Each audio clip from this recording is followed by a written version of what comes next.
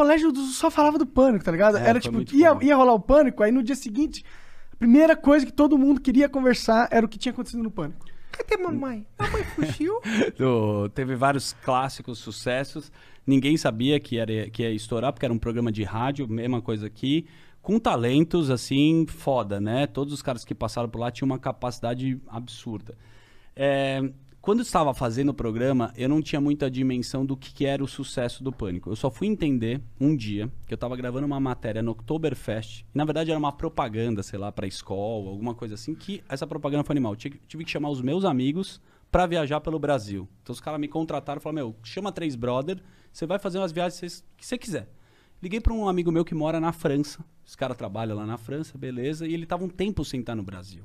Quando a gente chegou para gravar a matéria, câmera, pânico estourado, na Oktoberfest, juntou 10 seguranças. A gente gravava com segurança, velho, na praia. Porque era um sucesso. Os caras vinham bater na van, meio Justin E a Bieber. galera do pânico, é- ah, o público era bem porra louca também. Bem né? porra louca, e virou um negócio que a gente começou a bater. O fantástico. O negócio deu muita audiência. Batia a. Globo, né, cara? Era, Era, foi o programa de mais sucesso da época, então, né? Com certeza, cara. Foram anos que nunca ninguém tinha ganhado da Globo e o Pânico na Rede TV começou a ganhar.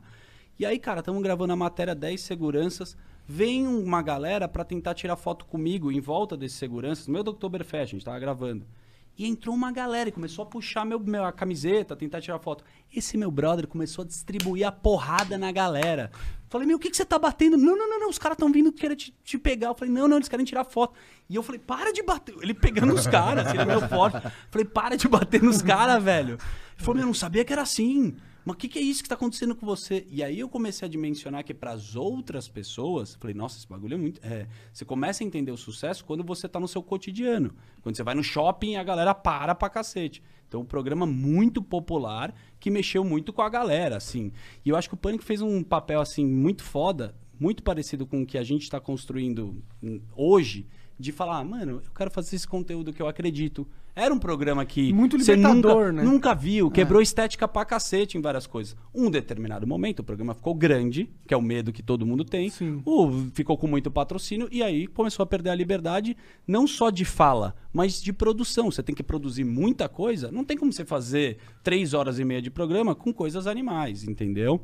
Eu acho que o resgate que a gente fez foi ficar na rádio mesmo e tateando o que, que a gente gosta de fazer e acertando no conteúdo. Foi meio que essa pega. Houve essa transição, né? Houve a, ela, a forte, o pânico muito forte na TV. E ele foi pra, pra rádio e a transição foi boa, na verdade, né? Porque, não sei, eu acho que esse formato que o pânico hoje é, nutre, ele é um formato que ele. Eu acho que pela internet ser muito nova, tá ligado? E por o que faz sucesso na internet ser sempre aquele conteúdo pra criança, o adolescente, negócio raso. É, esse negócio de conversa, de conteúdo mais político que Uhum. o Pânico traz, tava fora de moda da parada, tá Verdade. ligado? E agora eu acho que tá voltando a ficar na moda, porque houve um amadu- amadurecimento da- do público da internet, que não se interessava por essas paradas, porque era um público muito jovem. E agora não é mais tão jovem assim, já tem um tempo que tem internet, Mas né, tu mano? vai devolver meu vape ou não? Não. Mas eu concordo completamente com o que, que você está falando. E no Brasil, pra gente, a gente sempre chupinha alguma coisa, já tava foda o jornalismo opinativo nos Estados Unidos. A Jovem Pan já soube fazer isso junto com primeiro Reinaldo Azevedo, depois outro, outros caras que sabiam se comunicar e dar opinião. Lá eu já via Joe Rogan também, que vocês gostam, o Ben Shapiro. Tem uma galera que você falava, porra, olha o que esse cara tá falando, olha como esse cara se expressa. E dentro desse conteúdo tem um buraco enorme. E é muito legal quando você tem é, a possibilidade de ter mais gente produzindo isso. Que é o que vocês torcem, que tem uns 50 podcasts, É. cara. Sim, mais até. Que E o um- Pânico ainda inventou um jeito de editar vídeo, que enfiando meme no meio, que o nego reproduz Isso é muito hoje. foda. A edição, pra mim, cara, falando sério, é, às vezes é 70, 80% do conteúdo. O editor, cara, ele salva um material de uma forma. A gente teve editores no Pânico que deram a linguagem pra essa porra acontecer. O cara que é o André, o Igor, toda essa galera, meu, Lelo, uma porrada de editores que fizeram.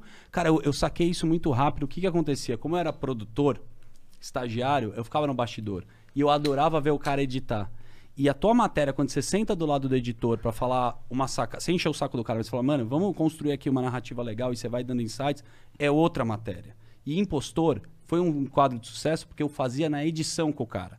A gente fazia um filme, o cara tava vivendo aquilo comigo, pirava na história que ele tava dentro, e editava junto. Entendi. E ele tinha um certo protagonismo de ser o, o, o cara que tá filmando, sacou? Agora, edição é o que o. é- Essas vinhetas que o Pânico achou, que viram meme agora, foi sacada, foi referência. Neguinho vê um vídeo foda nos Estados Unidos. A gente precisa beber de outra fonte, cara.